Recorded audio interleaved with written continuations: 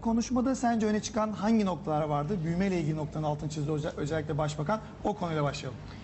E, açıkçası e, Sayın Başbakan'ın elinde çok yeterli malzeme vardı. E, ve şu sıralar son bir, bir buçuk senedir e, genelde başbakanların e, pek sahip olduğu bir e, lüks değil bu. E, rakamlar özellikle bu sabah çıkan rakamlar tabii ön- öne çıktı. E, büyümeden bahsetti. İlk iktidara geldikleri zamanla e, şimdiki arasındaki farklar, e, ekonomi ne kadar büyüdü, büyüme hızı ne oldu, kişi başına düşen milli gelir e, gibi. E, aynı zamanda yapılan bazı icraatlardan bahsetti. E, açıkçası e, hakikaten şanslı bir dönem. E, bugün burada bu konuşmayı yapmak için. E, biraz Libya konularına değinildi tabii doğal olarak ve e, Merkez Bankası ile ilgili gelen bazı soruları cevapladık. Genelde bence gayet tatmin edici e, bir toplantıydı. Herhalde e, Türkiye'nin aslında e, dünya üzerindeki yerinin ne kadar güçlendirildiği ve güçlendiğini ön plana çıkaran, e, bunun altını çizen bir konuşmaydı. Konuşma oldu. Olgay sana da aynı soruyu sorayım. Özellikle Başbakanın söylediği bugün benim için çok önemli bir gün. Çünkü sabah saatlerinde işte açıklanan rakamlara göre Türkiye'nin büyümesi, 2010 büyümesi geldi beklentimiz doğrultusunda ve 3 katına çıkarttık gayri safi milli hasılayı son bizim hükümette iktidarda bulunduğumuz dönemde de. Genellikle konuşması büyüme hani yurt dışında ne kim ne yaparken biz hangi noktaya geldik noktasındaydı. Benim algılayabildiğim kadarıyla sen ne diyeceksin? Evet yani en önemli mesajlardan biri zaten e, şu anda yani bu kıtadaki en hızlı büyüyen ülke olduğumuz. E, hani hem bunu son bir seneki rakamlardan hem de ortalama rakamlardan da görmek mümkün.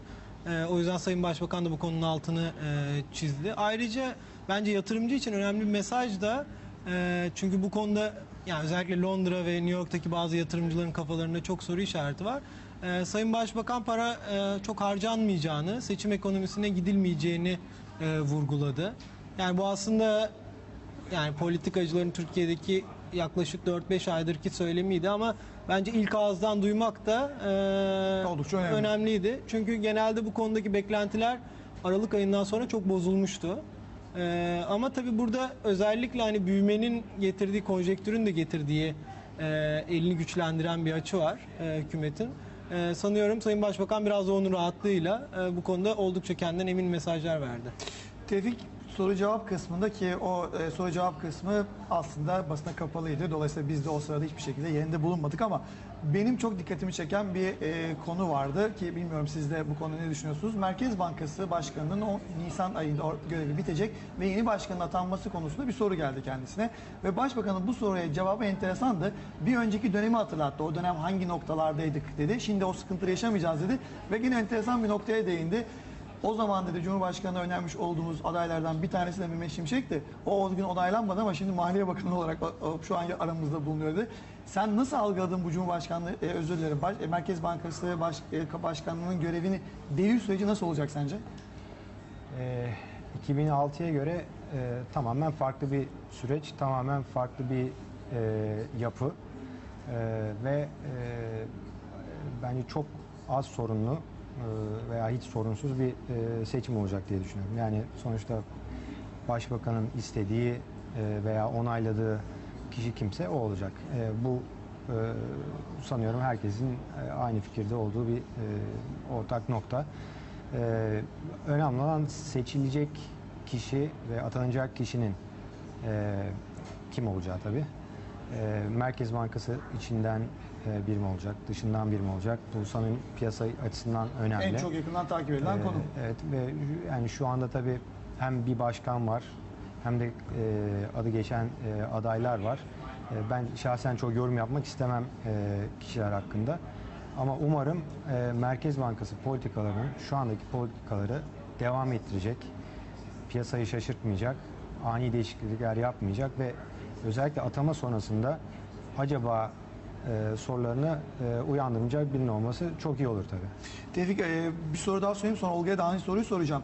E, gene Başbakan e, bu soruya ilişkili olarak şunu söyledi.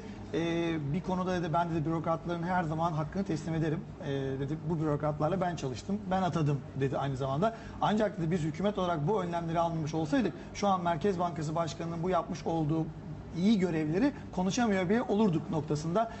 O, o noktada bir, bir yorumun olacak mı? Çünkü hani Merkez Bankası'nın hem hakkını teslim etti ama aslan payını da bize verin gibi algıladım ben. Sen nasıl algıladın? Açıkçası e, ben biraz e, şaşırdım e, cevabı. Çünkü e, sen biraz daha e, diplomatik şekilde söyledin bunu ama e, cevapta şöyle bir şey vardı. Sanki hakikaten aslında her şey hükümet ama Merkez Bankası da katkıda olduğu gibi. Bence hükümetin ve mali politikaların çok katkısı oldu. Bu kesin. Ve hükümetin yaptığı değişikliklerin de çok büyük etkisi var. O da doğru. Fakat enflasyonun düşürülmesi, e, kurdaki e, e, gelişmelerin, volatilitenin nispeten az olması artı uzun süredir Merkez Bankası ile ilgili sorun yaşanmaması bence burada Merkez Bankası'na verilmesi gereken bir, Bir kredi. e, kredi. E, sonuçta Durmuş Bey bence çok başarılı bir dönem geçirdi. Hem faizlerin geldiği nokta hem enflasyon hem büyüme e, bunlar Merkez Bankası e, politikalarının dışında gelişmedi. Doğru. Ee, sadece Durmuş Bey değil, bütün aslında Merkez Bankası'na bunu kredi vermek lazım. Orada çok büyük bir yapı var. Ee, tabii ki e, ma- zaten bunu Merkez Bankası da her defa her defasında söylüyor. Mali e, desteğin olması, oradaki e, bozulmamanın olmaması Evet. Merkez Bankası'nın işini her zaman kolaylaştıran bir şey. Ee, ama ben ben olsam herhalde biraz daha fazla kredi verirdim. Merkez Ee, Bankası. en azından yarı yarıya yapardım. Aslan payını almazdım belki de Aslan payını belki de almazdım. Ee, o açıdan biraz şaşırdım açıkçası.